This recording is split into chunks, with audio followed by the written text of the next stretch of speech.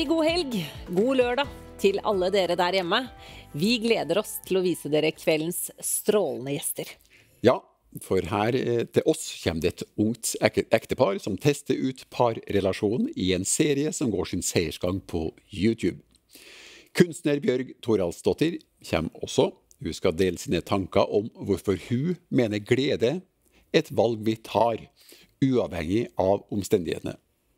Ja, og så skal vi igjen avslutte med å rette fokus mot annerledesdagen søndag, når Sogne og stortingsprest Sjur Isaksen kommer for å hjelpe oss inn i morgendagens bibeltekst. Vi har troa på at dette blir en time for både hodet, lattermusklene og hjertet ditt. Yes, garantert.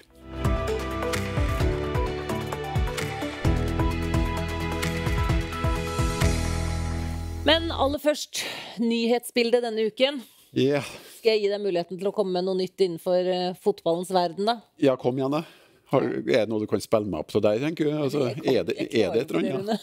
Gjør ikke det? Jeg så et bilde av Martin Ødegaard uh, på forsiden av en av Ja, nei, altså Ja, jeg, jeg fikk med meg at han har spilt noen kamper der sant, og gjort det bra, og det er kjempebra. Mm. Uh, men jeg syns jo det er egentlig andre ting i livet som er vel så viktig som fotball, faktisk. Oi. Ja. Det kan man er det overraskende på? Det var litt overraskende, faktisk. Jeg følger med, men det er ikke veldig Jeg er ikke hysterisk eh, opptatt av det. Ah, det kan du brodere i, på, på veggen. Ja. Det fins viktige ting i en fotball. Det, men det er det. en ting jeg kan spille opp, ja, er at det har skjedd noe. Det har nemlig gått rykter helt ned til Tigerstaden at det har kommet et nytt æresmedlem i Rosenborg. Det er faktisk helt riktig. Fortell. Ja, eh, det var årsmøte forrige uke. Eh, og der fikk jeg faktisk eh, et æresmedlemskap, ja. Altså, det var jo litt stas, da. Det må jeg jo Gratulerer. Ja, min, ikke, altså, ikke min barndomsklubb, men min barndomsklubb. Ja, ikke sant? Jeg spilte for en annen klubb, men det var jo Rosenborg som var liksom oppveksten og ungdomstid. Og, og så ble det en del av det sjøl. Du har vært det i sikkert over 25 år. Men da æresmedlem, da henger du i glass og ramme, da? Inne på stadion der, eller hva skjer? Nei, på klubbhuset så henger det bilder av æresmedlemmene. Ja. ja. Og så nå kan du bare ta opp kortet og så gå gratis inn på alle festligheter. Slipp inn på kamp, og hvis det er cupfinaler eller arrangement og sånn, så er vel deres eh, medlemmene automatisk invitert, uten at jeg har satt meg noe spesielt inn i det. Jeg vet, jeg vet jo ikke, men det, det, sånn det har vært. da. Har jeg jobba i klubben, så har jeg jo visst da når æresmedlemmene ble invitert. Ja, ja, ja. Men har du lov til å ha med kollegaer også, da, på noen sånne artige tilstelninger? Bare prøv deg, ja. Ja, selvfølgelig. Bare hvis du kommer til Trondheim, så skal du få være med på kamp, ja. Det skal jeg sørge for. Takk for det. Ja, ja da, men da fikk vi snakka litt om fotball nå også, ja, faktisk. Så deilig. Men ellers så er det jo litt andre nyheter fra avisene også. Vi kan jo melde om at kombinasjonen whisky og sosiale medier fortsatt ikke ser ut til å være noen suksessoppskrift, om det skulle komme overraskende på noen. Det var vel ikke noe bombe, kanskje det, da? Selv ikke for norske stortingspolitikere. Nei. Nei. Det er riktig. Og så har det vært eh, mye skriving om økende antisemittisme i Norge. Det er ikke ålreit. Det er en tendens vi her i God helg vil ta tydelig avstand fra, og oppfordre alle til å gjøre det samme. Mm. Og en annen nyhet som har fått mye spalteplass, det er kongens hjerte. Han har et stort hjerte. Det har han. Og derfor så trengte det litt hjelp nå. Det ser nemlig ut til at uh, alt har gått fint, da. Det er bra med denne pacemaker-operasjonen. Mm. Det er mange takknemlige og glade for. Men på tekst-TV så sto det faktisk 'Kongen vil trenge permanent'. Vet du, med, eh, jeg, Hvis jeg kjenner kongen rett, så vil han flire veldig mye av det der. For han har veldig humoristisk sans, og jeg må si at jeg dro på smilebåndet. Og vel så det, jeg òg, ja. Når jeg så den der. Ja, Men nå skal vi gjøre oss klare til kveldens første gjester. Og temaet vi skal ta for oss, det er også ofte i aviser. Og da gjerne under fete overskrifter som 'Ti gode grunner til å gå fra partneren din', eller 'Derfor bør du ut av forholdet'. Ekteparet vi nå skal møte, ønsker derimot å ligge i forkant. Hva skal til for at vi skal klare å holde sammen? Og denne reisen, den har de laget en TV-serie av. Så følg med.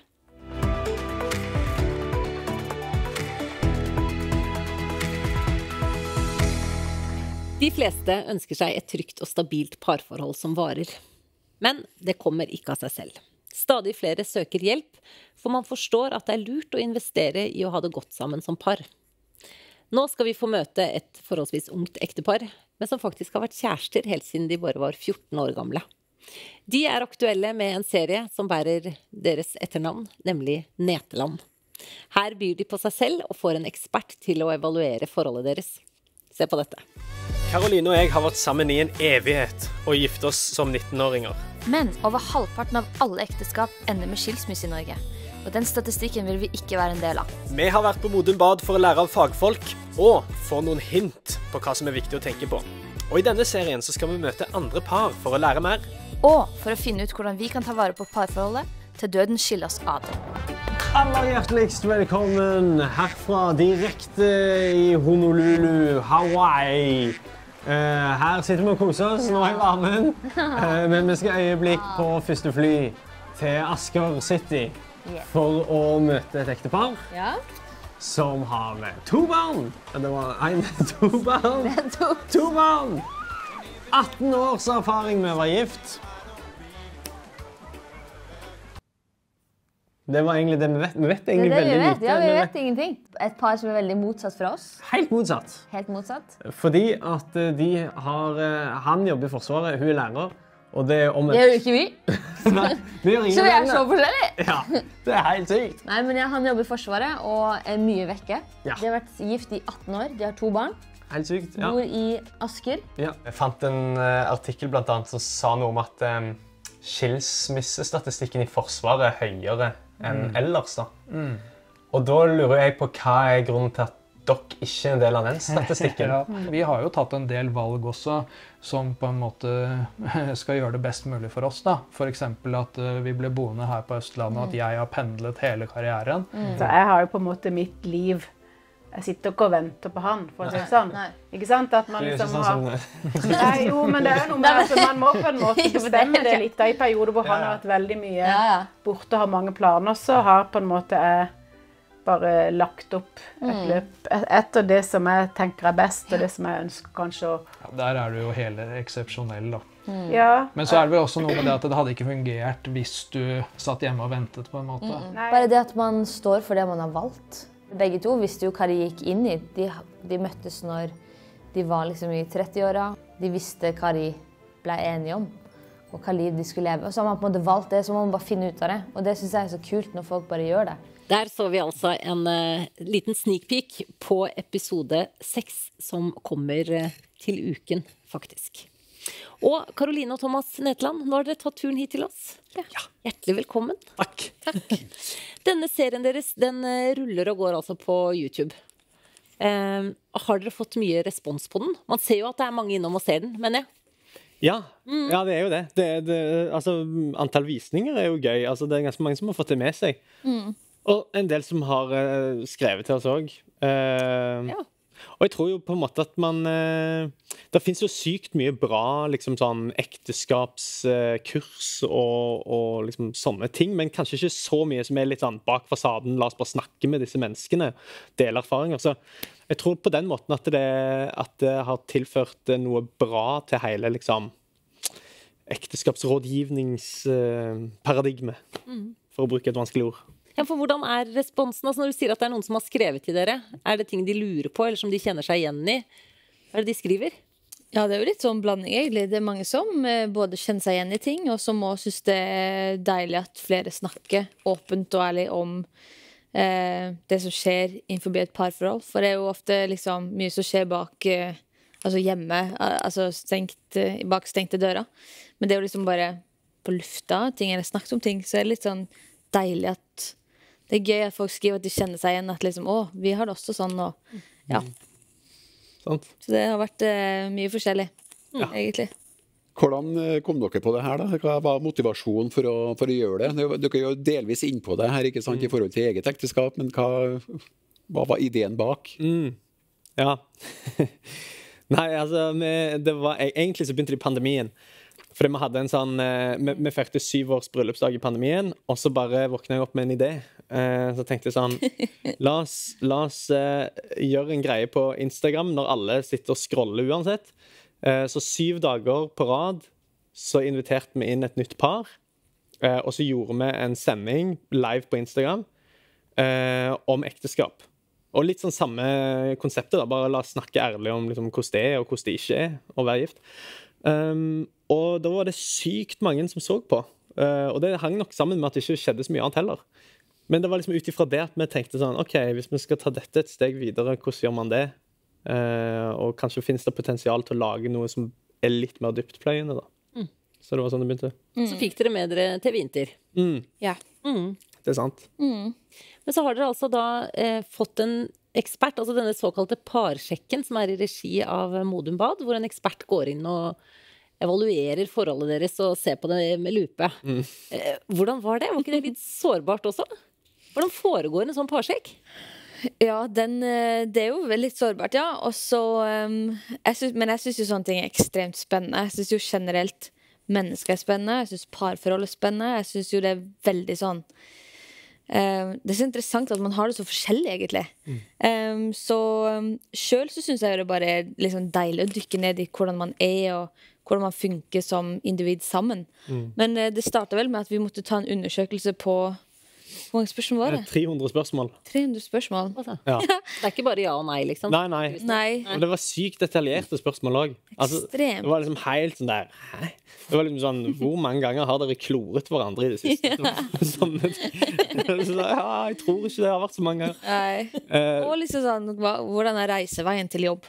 Ja, det var liksom en enorm Sånn mye sånn de skal, Spekteret var stort. ja, de skal altså ha så mye informasjon inn. Ja. Eh, og så eh, får man jo da et slags eh, Og så kunne vi ikke svare på de sammen. Ja. måtte liksom være hver hver for oss. Ja. Um, selv om jeg trengte litt hjelp. jeg er ikke så god på å lese. Så um, ja. Og så får da disse ekspertene det inn, og så blir de analysert. eh, Så det er ikke bare sånn computersvar, liksom. Det blir liksom analysert av en ekspert. Og så får man opp da røde, grønne, gule lys på liksom hvor, hvor ligger vi an da i forholdet, basert på ulike temaer og sånn. Og det ble liksom utgangspunktet for serien.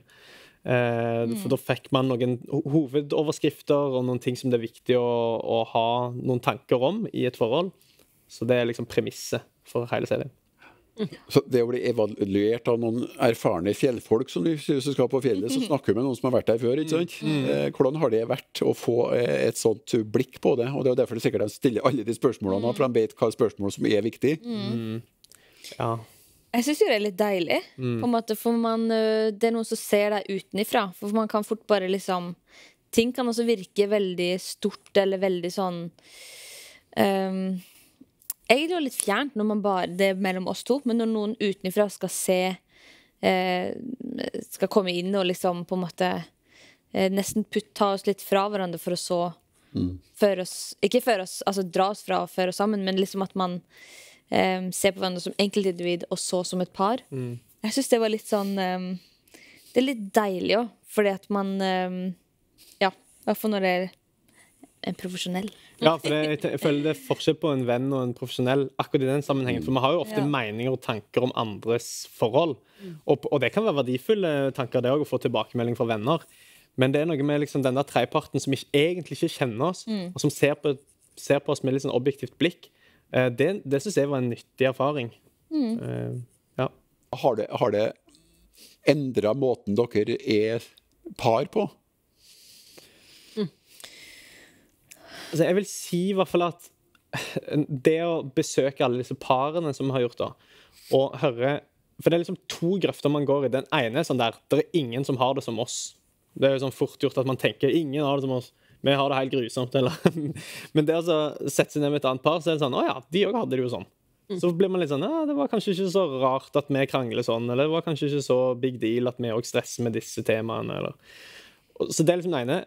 Den andre grøften er jo òg at man tenker sånn at alle har det som oss. At liksom, For at et ekteskap skal fungere, så må man jo være perlevenner. Og meg, meg og deg har jo på en måte Vi har jo vært Altså, vi er ganske like på mange ting.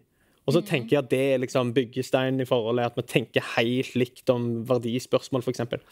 Og så møter man par som ikke tenker likt, men allikevel har et godt ekteskap. Så blir man sånn Å ja.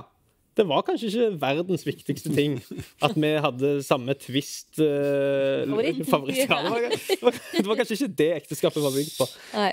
Så jeg føler jo på en måte at fall, man har fått et større perspektiv og en sånn utvida forståelse av hva som egentlig er byggesteiner i et ekteskap.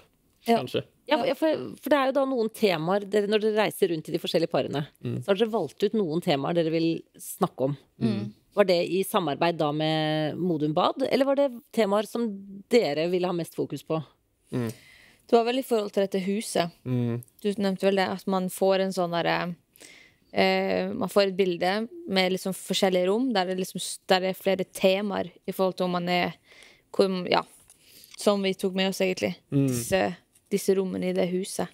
Ja, De hadde en metafor for hele ekteskapet. At den består av ulike komponenter og rom. Og noen bærer bærebjelker og litt forskjellig. Ja. Som var blitt gitt ulike navn. Forpliktelse, tillit. Kommunikasjon, vennskap, sex, alle de tingene der. Så vi tok egentlig utgangspunkt i det.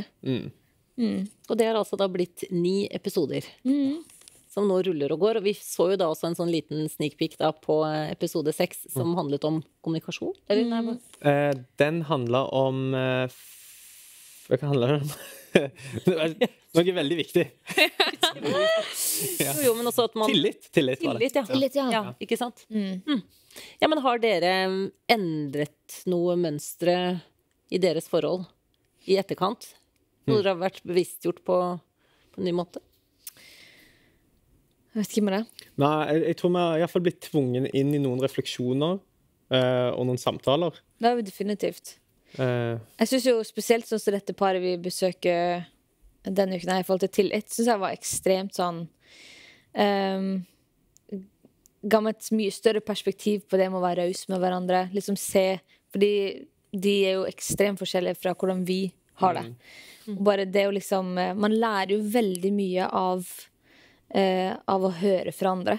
Så jeg føler liksom at man har tatt med seg småting Ja. her og der, og at man blir veldig inspirert, egentlig. Det er noe veldig fint å høre hvordan folk behandler hverandre. Um, så det har jo på en måte inspirert oss på både daglige ting, og det har jo også åpna opp flere samtaler for oss hjemme. Um, selv om vi er, vi er noe sånn Vi snakker mye hele tiden. Det er liksom ikke um, mye som blir liggende i kofferter hos oss. Men uh, det har virkelig liksom uh, skapt gode samtaler for oss der. Da, ja, absolutt. Virkelig. Men hva er det dere håper at uh, seerne skal sitte igjen med, da? Mm. Ja. Ja, jeg håper jo virkelig at man eh, eh, får en, en Får lyst til å ta samtaler, ikke bare med sin ektefelle. Og det, det må bli sagt, dette er ikke en sånn et serie der man må være et par for å få noe ut av.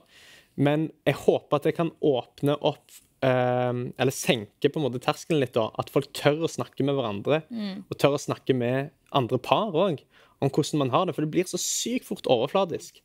Eh, når, og jeg ble overraska over For man hører jo når folk går ifra hverandre, så veldig ofte så skjer det liksom sånn bam! Og ingen som var invitert inn i den prosessen, liksom. Ingen som egentlig visste at det var noen ting. Så det der å, å faktisk bare snakke med andre Jeg håper virkelig at det er det serien eh, inviterer til. Å tørre å snakke med andre par, og snakke med hverandre i, i parforholdet. Og at man får sett forskjellige par. For det er jo sånn som du sa, at man tenker jo ofte at ingen har det som oss. Eh, og kanskje ingen har de problemene vi har. Eh, og motsatt at Eller det der med å bare se at man kan gjøre parforhold på så forskjellige måter. da Og at det, det er mange ting man kan jobbe seg gjennom med, eller finne en, finne en måte å eh, få ting til å gå opp. Altså Hvis man ikke har det der typiske, klassiske eh, parforholdet. Og for man sammenligner seg jo veldig. Og man ser kanskje også bare parforhold på TV, eller liksom ser en mal på hvordan ting skal se ut. Og at man også bare hører solskinnshistorier av hvordan Man ser jo ofte bare toppene til folk. Ja, ja. Eller liksom, liksom eh, Ja, vi poster jo sjeldent eh, våre mest intense krangler på Instagram, liksom. Ja, ja. Selv om det hadde vært litt gøy òg. Det hadde vært interessant, det.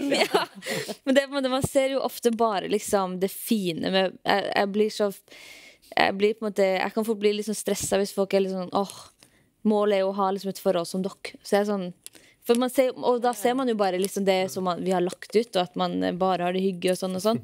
Så jeg håper jo programmet òg kan være med og, og liksom vise at parforhold er så mye mer enn bare topper, og at det kan se så sykt forskjellig ut, da. Ja, virkelig. For det Er det er, arbeid også? Ja, 100% det er mye arbeid. Ja.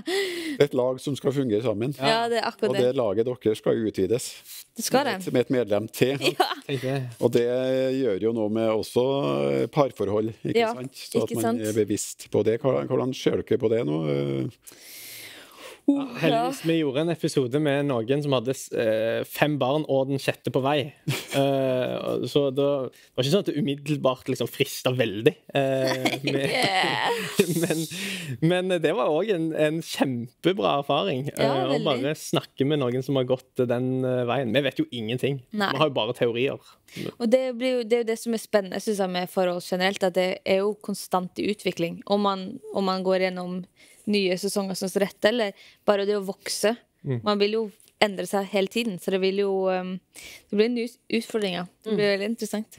Kan jo vi røpe at eh, morgendagens bibeltekst det er Maria budskapsdag. og hvis dere sammenligner det med Maria og Josef, mm. så er jo dette det her plankekjøring. Helt naturlig å sammenligne seg der. Nei, fy, de, de, burde, de burde ha gått en lang kansling. Ja, par, parsjekk, ja. Parsjekk, ja. ja. Men dere, de som ser på nå og har lyst til å få med seg Neteland, Ja. da går de altså inn på YouTube. Ja. Hver uke Ja. blir det sluppet en ny episode, og det er ni episoder eh, alt i alt. Yes. Du, tusen takk for at dere deler eh, livet, rett og slett. Glede. Og lykke til med familieforøkelsen. Wow. Lykke til, ja. Takk for at vi fikk komme. Ja.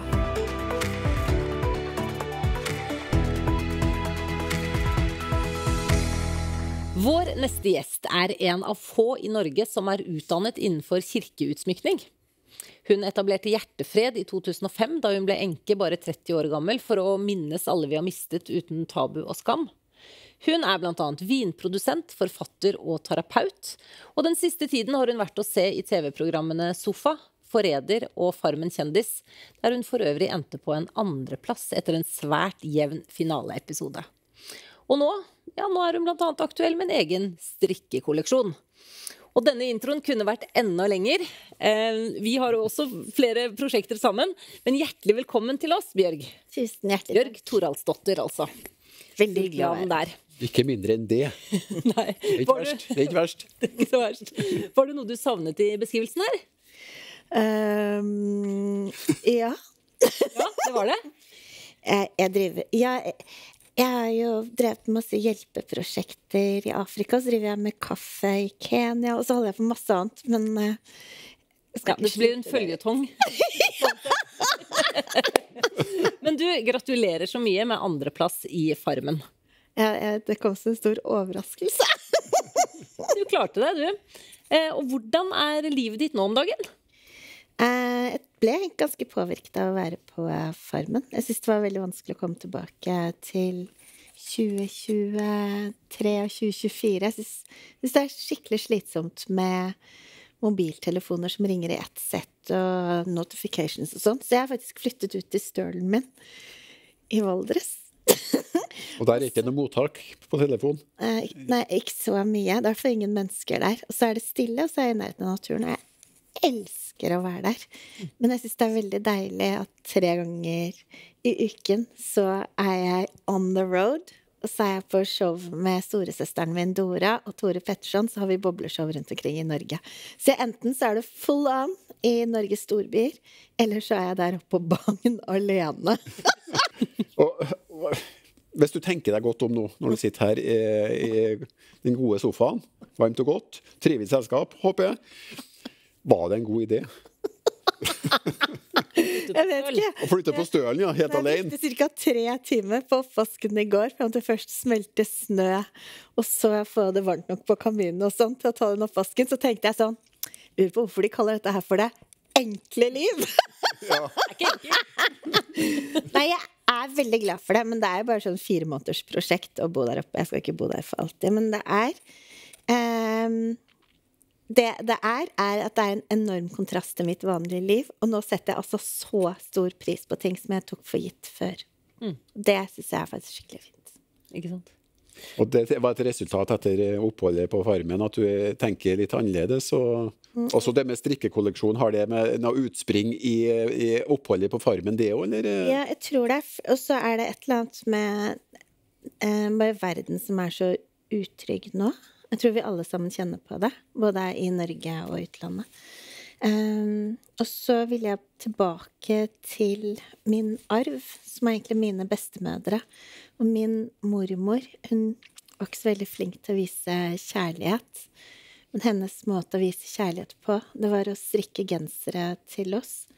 Så når jeg var på Farmen, så gikk jeg liksom rundt i en genser som hun hadde strikket 20 år tidligere. Altså hun har vært død i 20 år, og så går jeg rundt på Farmen og blir varmet opp av hennes masker som er strikket én etter én med kjærlighet og omsorg. Der, og da ville jeg liksom bare Jeg ville lage en strikkekolleksjon som er liksom bare våre tradisjoner. Liksom der hvor vi kommer fra. Det er nære. Og så vet jeg at når man strikker, så går jo hjerterytmen går ned, og det blir mye roligere. Så det var egentlig sånn eget behov for å ta vare på det nære og gode og tradisjonene og ja, sånn slekt. Mm. Fullfør det sånn i, i, forhold til hvilke tradisjoner jeg snakker vi om da, for du har jo et navn som tyder på at du kommer fra Thorhalsdottir. Ja. ja. det er islandsk tradisjon. Ikke sant? Mm, så denne her er inspirert av uh, islandske strikkemønstre. Men jeg har lagd den her i Norge sammen med Garnius. Så det er, det er liksom norsk-islandsk, akkurat sånn som meg! Da dette her! Ja. det er det du driver med da når du er på stølen? Sitter og strikker? Jeg driver og maler. Jeg skal ha en stor utstilling på Hadeland Glassverk med masse malerier, som åpner 15. juni. Så jeg driver og maler til den utstillingen. Så det er helt fantastisk å være der, og helt uforstyrret i fjellheimen. Masse inspirasjon. Og stå og male. Veldig inspirerende. Så nå er det bare gauper og elg og sånn som blir på denne kunstutstillingen, eller? Du får komme og se. I'm going to surprise you! Men du, Bjørg, altså livet ditt, når man hører om dette utenifra, mm. så høres det jo bare ut som en rekke suksesser og oppturer. Eh, og latteren din og gleden din. At liksom du Du har virkelig bare surfa inn i livet. Men du har jo vært veldig åpen om at på ingen måte har livet bare vært solskinnsdager. Du har hatt mye motgang og ble annet da, som jeg var inne på, enke da du bare var 30 år. Eh, men hva tenker du er den viktigste årsaken til at du ikke har blitt bitter? Men at du har klart å velge deg liksom gleden som grunntonen i livet ditt? Du, det viktigste av alt er at jeg har valgt gleden. Og det er det er faktisk et valg. 50 er genetisk av hvordan du har det. Det er liksom Enten er du født som en litt sånn, sånn baby, eller så er du født som en sånn baby. Det er 50 Det er litt urettferdig, da. Ja, men resten, 50 bestemmer du. Så når du våkner opp om morgenen og sier til deg selv 'i dag blir en fin dag' Det var en som fortalte meg at det, det er som at da sier du det til en arbeidsleder oppi hodet ditt som har 1000 arbeidere. Og da sier den til de tusen arbeiderne Hei, karer! Hørte dere hva hun sa? I dag blir det en bra dag, og de tusen kara går rundt. Og så er det bare sånn Oi, oi, se så fin hvitveis! Og så bare Oi, oi, se, solen skinner! Og så jobber de på, da, for at det blir Man ser og er takknemlig.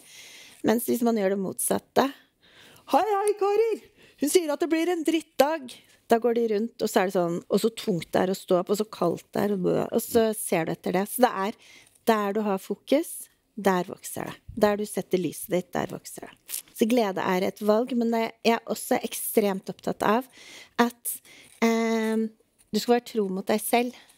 Du skal ikke ta deg sammen, men å ta deg selv på alvor. Så hvis du våkner opp en dag, eller jeg våkner opp en dag og kjenner at jeg er lei meg, så er det sånn Oi, nå kjenner jeg at jeg er lei meg. Hva handler det om? Og så er det helt utrolig med følelser, men når du tar de ut i lyset, så er de som et lite troll. Sier det, og de sprekker og blir borte. Så når jeg sier sånn, hva er det jeg er lei meg for, nå kjenner jeg at det er et eller annet som banker på. Og så tenker jeg sånn, nei, nå savner jeg Eric eller mannen min som døde, eller hva det skal være. Og så setter jeg på en trist sang og gråter litt og sånn. Og så Altså, glede er et valg. Det er det å være takknemlig for det du har, istedenfor å se etter det du ikke har. Du kan bevisstgjøre deg litt sjøl. Altså. Men det sitter jo sikkert noen som tenker at jeg sliter, og det er ikke så lett for meg. Men Bjørg sitter her, hun kan så mye og får til så mye og er så ressurssterk. Det er mye enklere for hun. Da jeg var 18, så hadde jeg kommet til et punkt hvor jeg var veldig, veldig, veldig langt nede. For jeg hadde opplevd eh, tre seksuelle overgrep som var ganske stygge. Så, og da tenkte jeg at eh, da ble det helt mørkt. Og så tenkte jeg bare, når jeg hadde liksom dritt langt over hodet, så tenkte jeg at eh, når jeg dritt opp til haka, skal jeg ikke henge med hodet. Men jeg tenkte liksom bare at eh, du drukner ikke av å liksom ha dritt over hodet. Du drukner av å bli der. Så jeg tenkte bare at eh, jeg vil våkne opp hver dag og kjenne på glede. Så jeg begynte egentlig da jeg var 18, så begynte jeg å lete etter hva er det som kan gi meg glede i livet. Så må jeg si at en av de tingene som har hjulpet meg veldig mye, spesielt for da jeg var 18 så bodde jeg i Mexico, det er at der er alle kirkene åpne. Så det hjalp meg så utrolig mye, for da når jeg kjente at det ble for mye og for mørkt, så kunne jeg bare gå inn i en kirke og sitte der og så se lyset som gikk gjennom glassvinduene, eller glassmaleriene, og som traff gulvet så utrolig vakkert, i masse farger på gulvet. Og så kunne jeg liksom bare be til Gud og be om styrke. Eh, og det var derfor jeg også begynte å studere glassmaleri, for det betydde så mye for meg å være inne i de kirkene i den tiden. Og det ga meg håp. Og så det å be, det å um, meditere, det å og liksom så fant jeg at når jeg beveger meg mye, så har jeg det bedre. Så begynte jeg å gjøre det. Og så fant jeg at når jeg eh, har oversikt over dagene mine, så får jeg det bedre. Så begynte jeg å planlegge dagene mine bedre. Og så når jeg liksom er takknemlig, så har jeg det bedre. Så begynte jeg å skrive takknemlighetsdagbok. Så jeg begynte liksom bare å gjøre masse ting. Så til sammen så gjør jeg syv ting hver eneste dag som jeg vet at hjelper meg til å produsere lykkehormoner, sånn at jeg har det bra. Så det er et veldig bevisst valg. Men vi er her så utrolig kort, og det er den store gaven jeg fikk da jeg ble enke i en alder av 30. At uh, man vet aldri hvor lenge man er her. Og det som gir mest glede, er jo de nærmeste. Altså våre nydelige barn eller søsken eller familie eller venner eller hvem du har nære. Det er det som gir mest glede. Så eh, det er bare å være takknemlig for det man har, så kjenner man på glede. Mm. Var det svar på spørsmålet ditt? Ja, det, Det var jo det. det er lett å si. Så, så det er, det, jeg har sittet der hvor jeg havnet på et sykehus som holdt, holdt på å dø som følge av en voldtekt. Jeg har liksom vært på alle de stedene. Sånn at det er derfor Og for meg så er det på en måte fint at jeg har opplevd de tingene, for da kan jeg sitte her og være glad uten å liksom At jeg har opplevd masse. Sånn at jeg har den erfaringen. Jeg vet hva det er å ha det veldig, veldig vondt. Mm. Også, men jeg vet også at det er bare jeg som kan gjøre noe med det. Det er ingen andre som kan gi meg glede, ingen andre som kan gi meg kjærlighet hvis ikke jeg gir det til meg selv først. Men du, Rune, vi har noen faste spørsmål. vi. Det har vi. Skal jeg begynne? Jeg syns du skal Ja, gjøre det. det gjør jeg. Bjørg. Er du klar, ja? Full konsentrasjon. Hvem er den viktigste personen i ditt liv? Min sønn Tolly, som nå er 20, driver og er det et islandsk navn? reiser. Er det en forkortelse for, for da? Det jeg er jo Thorhalsdottir. Ja. Thorhalsdottir. Og på Island så har de jo bare fornavn, de har jo ikke etternavn. Du er jo bare dotter av et fornavn. Ja, ja. Eller sønn. Så eh, på Island så må du oppkalle barna dine etter foreldrene dine. Hvis ikke så er det helt krise. Jeg heter Bjørg etter min mormor, som strikket genseren. Så, så ble det en toraller, da. Så jeg bare å, lille toraller. Og så begynte han å snakke. Det var jo helt umulig for en liten toåring å si toraller, så det ble tolala. Tolala. Og så etter hvert så ble tolala til Tolly. Og så eh, ville han bare hete Tolly. Han ville aldri hete Toraller. Da, det første Tolly gjorde da han ble 18, det var å gå på folkeregisteret. Og, og nå heter han Tolly i folkeregisteret. Det er en hemmelighet. bevart. Ja, nei, er du gal? Pappa må ikke vite det. Nei, nei, nei. nei. Men du, Bjørg, videre her. Eh, hva eller hvem er Gud for deg? Eh, Gud er trygghet. Gud er kjærlighet. Gud er bare en utrolig sterk og god kraft som vil oss godt. Gud er fred. Gud er lys. Um, Gud gir håp. Hvordan vil du bli huska i minneordet om deg? Håper at jeg blir husket eh, som eh, en som gjorde en liten forskjell mens jeg var her.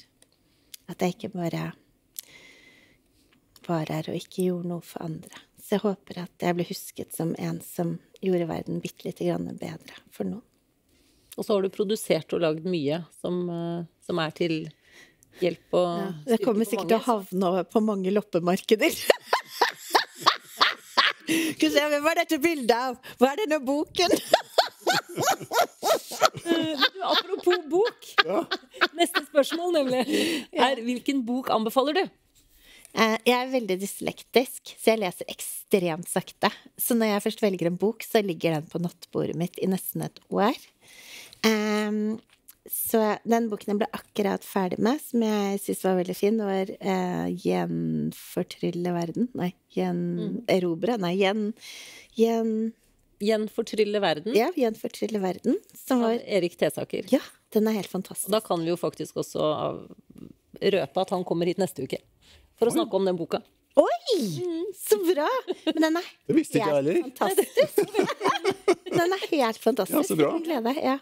Ble veldig fascinert av den boken. Men eh, og, og nå så er det så Etter den introen din, så har jeg skjønt at eh, jeg kanskje bruker litt mer energi. Ja, det er en grunn til at jeg reiste opp på den fjelltoppen også. Det er for å prøve å roe ned. Og til og med der så bare Så Så jeg Den boken jeg nå leser på, som jeg kommer sikkert til å bruke noen måneder på, det er Hvilekraft. Og den er så bra. Ja. Hvilekraft. Ja. Hvilekraft.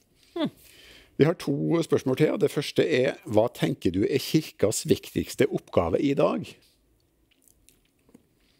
Eh, jeg var så utrolig heldig at eh, da jeg følte meg veldig lost som 14-åring og ikke helt klarte å finne min plass, så eh, ble jeg med i TenSing-kor. Hvor jeg ble tatt så utrolig godt imot. Så jeg håper at kirken kan være sånn igjen. For jeg vet at TenSing-kor har blitt litt borte og alt sånt. Men jeg opplevde på en måte en litt sånn ubetinget kjærlighet da jeg kom inn i det TenSing-koret. Hvor eh, på skolen og overalt så følte jeg liksom at det var så mye krav, og du skulle være sånn og sånn og sånn for å passe inn, og det var så mye hierarki og sånn. Mens der følte jeg at det var helt sånn flatt hierarki. Alle sammen var like mye verdt. Og vi hadde så mye gøy, og ja, det var bare det var helt fantastisk. Så jeg håper at Kirken fortsetter med det viktige arbeidet de gjør. Jeg ble jo søndagsskolelærer og konfirmasjonsleder, og jeg bare elsket det samholdet og fellesskapet. Så egentlig at Kirken klarer å følge med i tiden, sånn som den gjorde i Bryn menighet da jeg var der. Og det å nå ut til spesielt ungdommen som er så usikre, og i hvert fall nå hvis jeg snakker om meg selv, og det å vise retning og vise vei til å gi gode verdier, når jeg vet hvor mange ungdommer det er som faller utafor, både i skole og skolevegring og ehm, begynne med stoff og Altså, det er, det er så mye, så jeg bare håper at Kirken kan være motvekten til det, og at vi kan få de gode, fantastiske, flotte verdiene som Kirken har. Ja. Du, og da til sist, for nå skal vi snart gå inn i del tre av programmet her, som tar for seg denne annerledesdagen søndag. Hva betyr den dagen for deg, og hva fyller du den med? Eh, jeg eh, er jo islandsk, som sagt. Hele familien min, pappa, mamma og søst- mine to søstre bor i Norge. Men eh, hele min islandske familie bor jo der hvor de bor. På Sagaøya. Og familie er veldig, veldig viktig for meg. Men jeg fikk jo bare én sønn, og mannen min er død. Så det er bare oss to. Så for meg så har søndag blitt en dag hvor jeg samler den valgte familien, som er mine venner. Så da hver eneste søndag så inviterer jeg til eh, middag, søndagsmiddag, Verden. med forskjellige som er liksom min valgte familie. Og det er så koselig. Og det er sånn familiefølelse.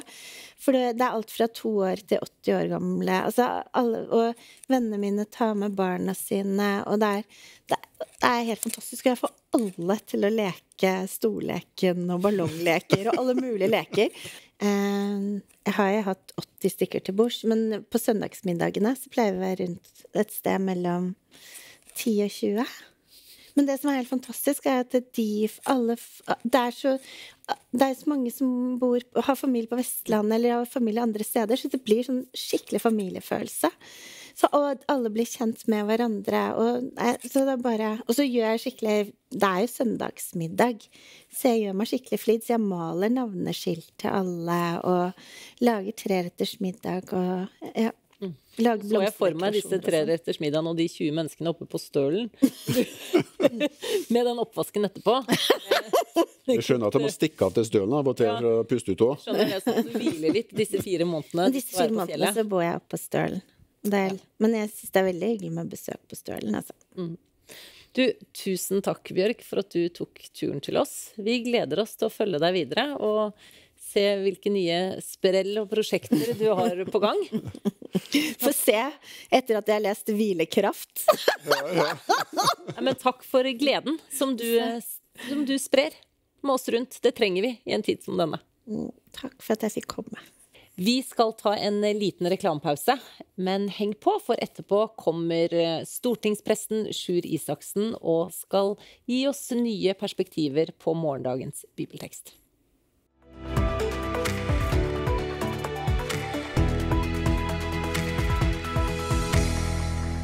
Og der er vi tilbake igjen her fra God helg.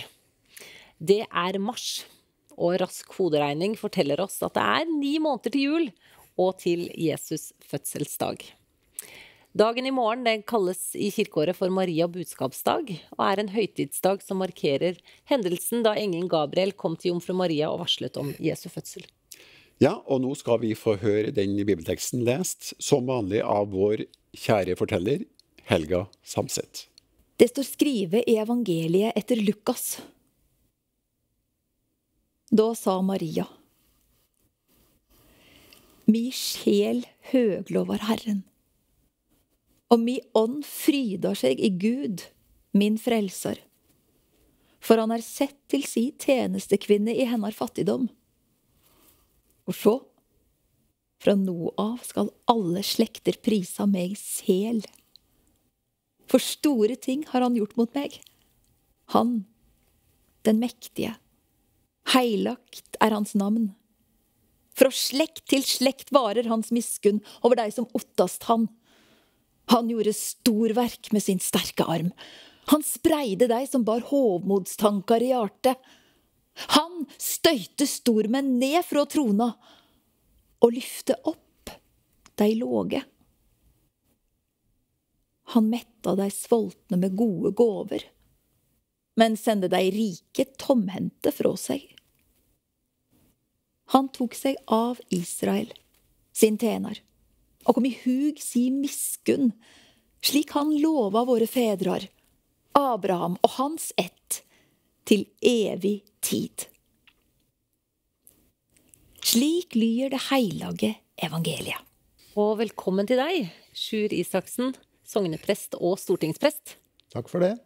Du, dette er en tekst som jeg vil tro du har holdt mange taler om tidligere. Det stemmer. Eh, selv om det er jo ikke så mye fokus ofte på jomfru Maria i den delen av kirkegrenen som du representerer, nemlig Den norske kirke? Nei, kanskje ikke, men eh, dagen kommer hvert år. Og nå er også faktisk fjerde søndag i advent blitt en sånn Maria-dag i vår tekstbok. Så egentlig to ganger i året er mye oppmerksomhet eh, om Maria. Og det kan jo hende at noen protestanter har vært så redd for å ligne på katolikkene og deres opptatthet av Maria at man har gjort henne mindre og mindre viktig enn hun er. Men hun er eh, avgjørende. Altså hennes oppdrag er det ingen andre som har fått, og ingen andre som trenger å få heller. Og hun kom fra trange kår? Ja, det er jo en ganske sånn viktig del av uh, måten hun uttrykker seg på i denne lovsangen. da. At hun rett og slett um, betegner seg sjøl som en ringetjenerinne, som det har stått. Og um, det er faktisk veldig morsomt, nesten som en sånn fun fact, at det ordet som er brukt eh, om at hun eh, ja, hun eh, priser Gud i ånden. Eh, det ordet er veldig sterkt. Det kan også oversettes med 'en bryter ut i ekstatisk jubel'. Og det er bare brukt én annen gang i Det nye testamentet, og det er 30 år seinere. Da er det Jesus, sønnen hennes, som bryter ut i en lignende ekstatisk jubel og priser Gud for akkurat det samme. Nemlig at Gud velger seg ut det som er lite og ubetydelig i verden, og løfter det opp. Eh, sånn at det er en, en dyp hemmelighet her ved at det var ei fattig ungjente som fikk det oppdraget. Mm. Ja, for det er, det er, mange kontraster i denne bønnen. Eh, det er eh, de mektige til de fattige, og de høye til de lave. Og det er jo her Gud virkelig begynner å snu ting på hodet.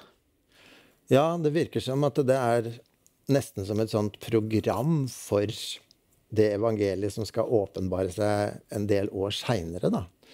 Og som eh, Jesus eh, helt til fulle viser oss og gjør veldig tydelig. Nemlig at alle rangordninger snus på huet, og de siste skal bli de første, og de eh, minste skal bli de største. Sånn at allerede i denne første lovsangen så blir det et veldig tydelig motiv. Programmatisk, kanskje, selv om det da folder seg ut en god del år seinere. Mm. Hva ligger det i at uh, du omtaler Gud som hellig her? Nei, altså, Man kunne jo liksom se for seg Jeg syns ikke det er noe sånn selvfølge at Maria bryter ut i lovsang. Det er jo mulig å se for seg at dette ble rett og slett for mye for henne. At mm. hun måtte verge seg mot uh, det oppdraget som denne engelen kom med. Uh, og jeg tror hun trengte faktisk litt bearbeidelse. Uh, det står jo om henne at for å bearbeide dette, så tok hun seg en tur opp i fjellene og besøker sin slektning Elisabeth, som også skulle få et barn, på litt underfullt vis. Og det er der at denne lovsangen forløses, etter at hun faktisk da har fått en god samtale med en god venninne. Eh, og så eh, har det modnet seg inn i denne lovsangen at hun kan anerkjenne at uh, den Gud som sendte engelen, som ga henne uh, dette oppdraget, er den ene hellige Gud. Den som hun hadde bekjent som en fra hun var en liten jente. Mm. Eh, Maria budskapsdag er jo på en måte da, altså det er jo en festdag. Mm. Egentlig en tid som er preget av faste. Eh, og den liturgiske fargen er jo fiolett, eller altså lilla, mm. eh, i fastetiden. Men nå er det byttet til hvitt. Hvorfor det? Nei, det er et slags innbrudd i uh, fastetida som har vært der hele tiden. Nettopp fordi Maria budskapsdag eh, blir lagt så nærme som mulig til den 25. mars. Og det er de ni månedene. Vi er en graviditet unna jul, som du sa. Eh, I år blir den litt tidligere, da. Fordi eh, påsken kommer tidlig, og vi kan ikke ha Maria budskapsdag inne i den stille uke. Så i år blir det 17. mars. Men fordi budskapet er så preget av lovsang, man kan ikke samtidig ha faste og fiolett, og ikke synge lovsangen mens man skal lese Marias lovsang i gudstjenesten. Så vi må bytte ut farvene, rett og slett. Den jobben får vi ta oss. Og så omstille modus fra fastetidens alvor og inn mot eh, fest og lovsang. Du, du, sa jo i stad at eh, du allerede denne uken har, eh, har talt om denne Maria budskapsdag eh, ja. på Stortinget. Hva er det du fokuserer på da? Ja, det er flere ting som kan bli viktige i denne historien. Eh, jeg syns nok det er et hovedpoeng nettopp det at Gud velger seg ut det som er lite i verden. Mm. Og så syns jeg det er et godt poeng at uansett hvordan Maria hadde reagert, så hadde dette underet blitt båret fram Altså, det er ikke avhengig av at hun synger en lovsang. Hun føder verdens frelser.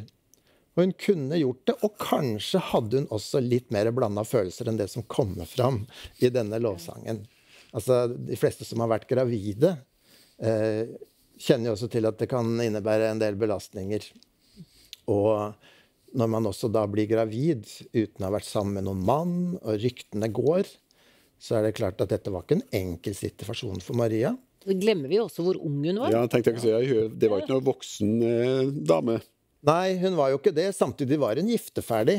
Ja. Sånn at uh, det var jo vanligere å uh, finne både en ektemann og få barn tidligere den gangen. Men Hvor gammel var hun egentlig?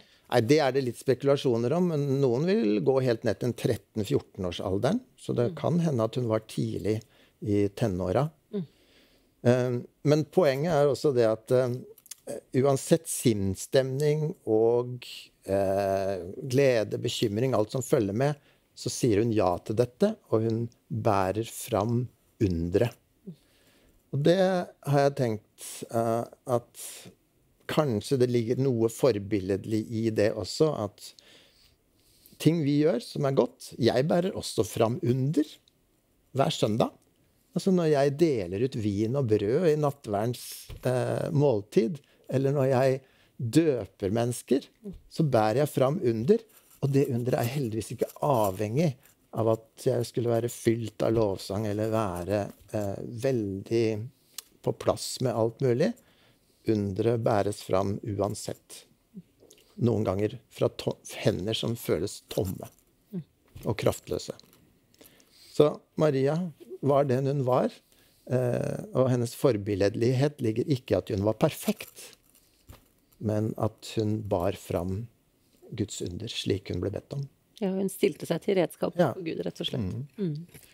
Da tror jeg vi sier tusen takk for eh, gode ord og interessante ord for din betraktning av eh, bibelteksten.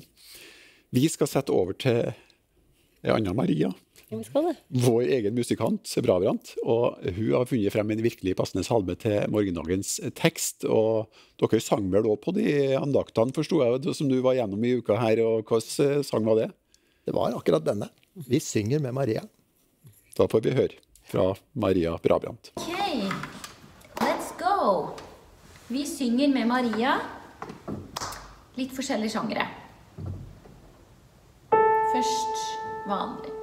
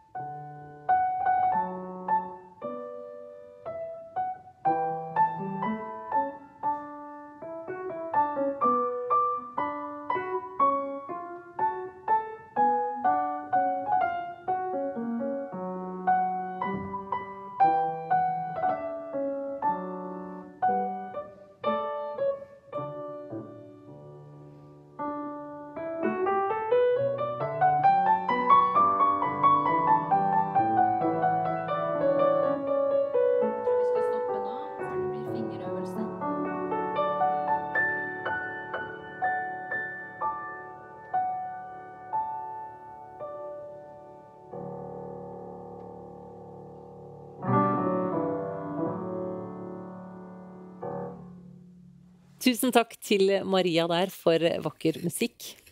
Og med det så runder vi av denne kvelden. Litt klokere på både kjærlighetsspråk, kommunikasjon, fokus på glede og ikke minst Maria budskapsdag. Ja, og vi takker naturligvis gjestene våre og deg som har fulgt det her hjemmefra. Og så vil vi be deg om en tjeneste til slutt. Det er fortsatt mange som ikke vet om TVL. Særlig dem som ikke leser avisene Dagen og Vårt Land. Vil du hjelpe oss med det? Da går du inn på Facebook, søker på TVL og finner sida vår. Der klikker du 'liker' eller 'følg', og når vi har innlegg, så klikker du 'liker' på dem også. Det gjør at mange, mange flere blir kjent med programmene våre. Fin oppfordring der, altså. Rune og jeg vi er tilbake alltid i morgen vi, i programmet Hovedkontoret. Til samme tid som i dag. Da ses vi. Ha det bra.